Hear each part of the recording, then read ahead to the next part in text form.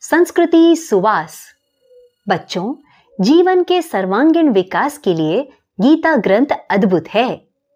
विश्व की 578 भाषाओं में गीता का अनुवाद हो चुका है। हर भाषा में कई चिंतकों, विद्वानों और भक्तों ने मीमांसाएँ की हैं और अभी भी हो रही हैं और होती रहेंगी। क्योंकि इस ग्रंथ में सब देशों, जातियों पंथों के तमाम मनुष्यों के कल्याण की अलौकिक सामग्री भरी हुई है। गीता विश्व का एकमात्र ऐसा ग्रंथ है, जिसकी जयंती मनाई जाती है। अमेरिकन महात्मा थौरो लिखते हैं, प्राचीन युग की सर्वरमणीय वस्तुओं में गीता से श्रेष्ठ कोई वस्तु नहीं है।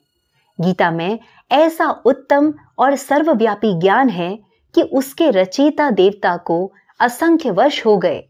फिर भी ऐसा दूसरा एक भी ग्रंथ नहीं लिखा गया है।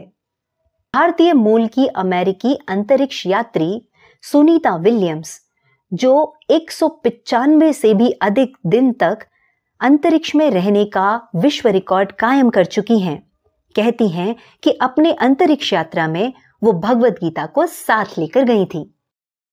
18 अध्याय एवं 700 श्लोकों में रचित तथा भक्ति, ज्ञान योग एवं निष्कामता आदि से भरपूर यह भगवद गीता ग्रंथ विश्व का एकमात्र ऐसा ग्रंथ है जिसकी जयंती मनाई जाती है।